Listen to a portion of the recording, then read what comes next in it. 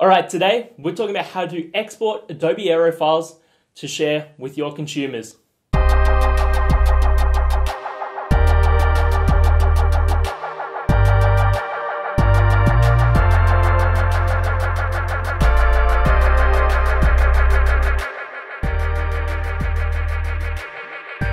Okay, so now that we've got our Adobe Aero open with our project from last week, what we want to go to is in the top right, the little export button, go export as, and we want to choose universal scene descrip description, USDZ.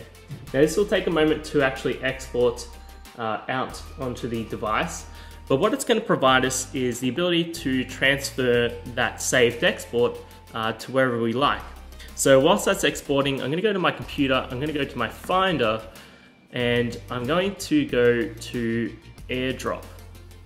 And so in airdrop, we want to turn it on if you don't already have it on, and then want to allow it to be discovered by everyone.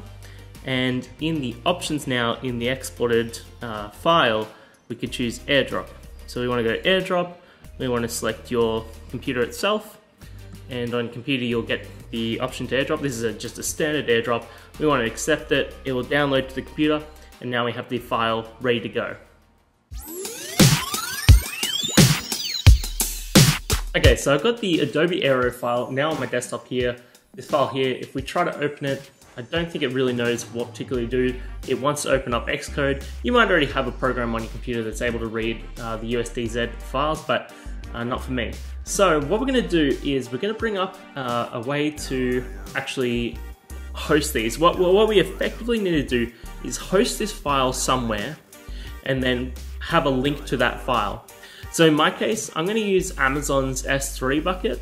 Uh, I'm not going to go through the entire process of setting up an S3 bucket here, um, but you could alternatively use like a, a web server.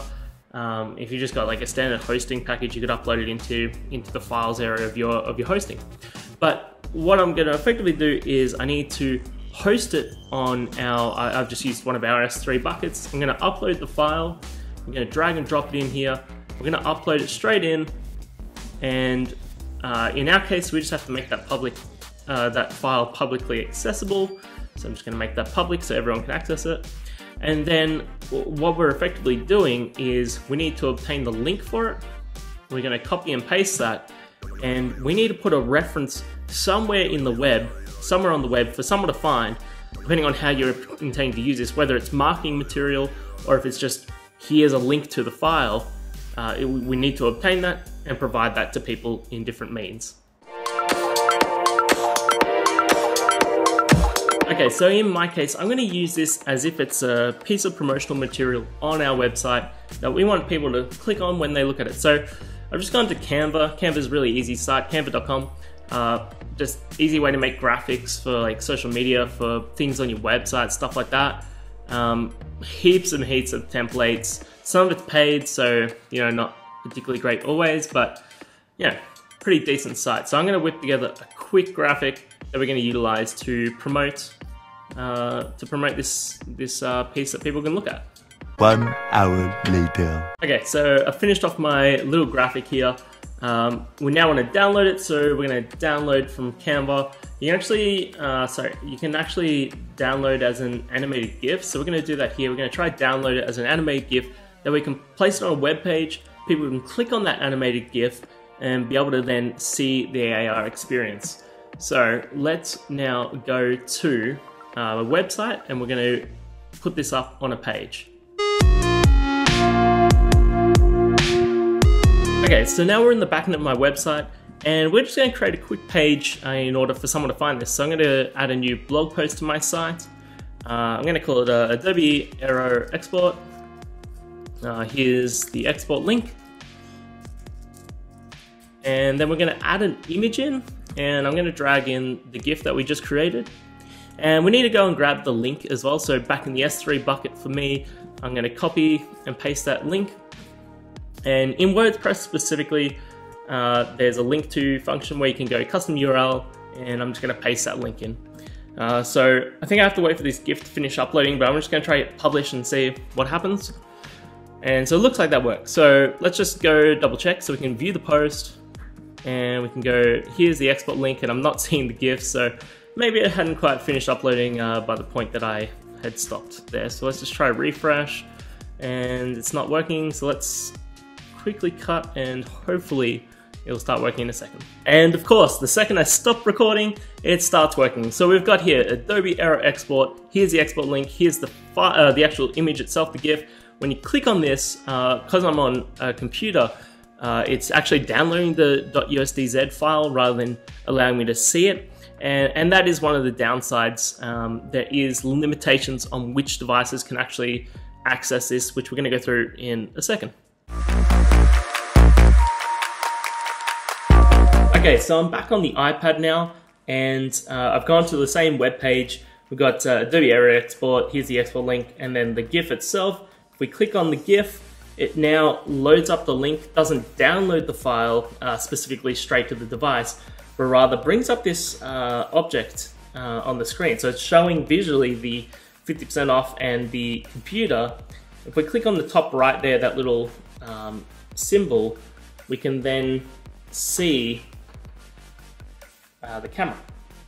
And so it's effectively looking for ground to place this down. We've got 50% off. Uh, you can move it around, you can rotate it, you can actually shrink it and increase the size. Uh, but effectively, we now have this available in, uh, in augmented reality. You can then also go back to object mode to see it in that white space, but the AR mode then uh, brings back the camera. The one downside that I've noticed with uh, Adobe Aero's export of the USDZ, and I'm not sure if this is Adobe Aero or if this is USDZ files, is that there's no interaction. So we can see here that laptop is already showing, which last time it required clicking on the 50% off before it showed. If we get close to that 50% off, it also doesn't spin. So it, it's like it, it, it, loses all interaction, which is really unfortunate. Um, that would be amazing if they could bring that across, whether it's Adobe Aero, whether it's USDZ files, I don't know. But that is one big downside. The other side to things as well is this works perfectly fine in Safari. It also works perfectly fine via Chrome.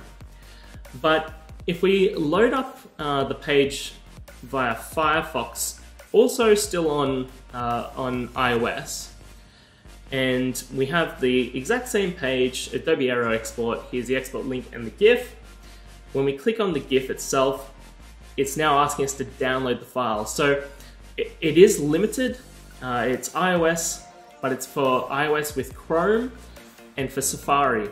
If you try to access via any other device, whether it's Android, iOS on Firefox, uh, it appears to request the user to download the file. So there are downsides, there are limitations, but this is a way to utilize USDZ files from Adobe Aero.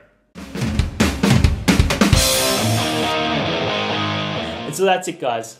Taking an Adobe Aero project and exporting it so an end consumer can actually go through and utilize it and see it in their living room or wherever they are on their iOS device. Guys, if you come up with anything crazy in Adobe Aero and want to share it, please shoot us through a link. I'd love to check it out. But until next time, I'll see ya.